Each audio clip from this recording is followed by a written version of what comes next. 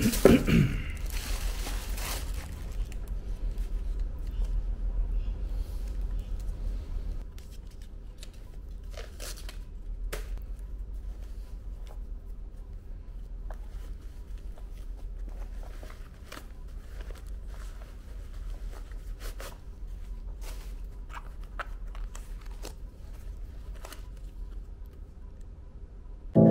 know you told your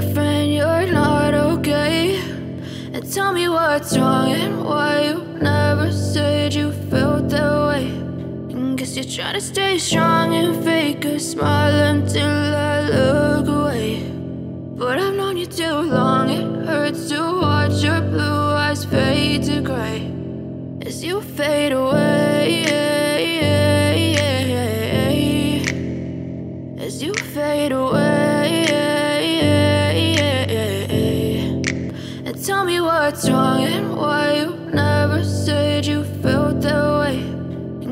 Trying to stay strong and fake a smile until I look away.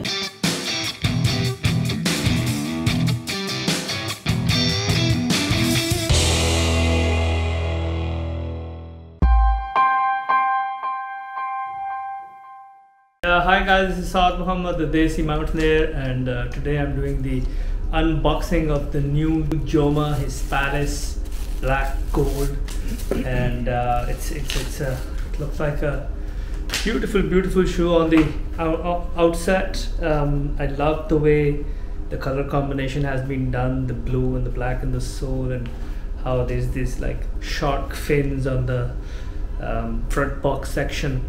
And you've got this blue from underneath. And it's, it seems like a very very lightweight shoe. The label it came with tells you exactly. So it's just under 300 grams 295 grams. And i love the way there's um, so with my fingers right now i can feel the cushioning on the inside. And i'm gonna have to try it give a run a test run.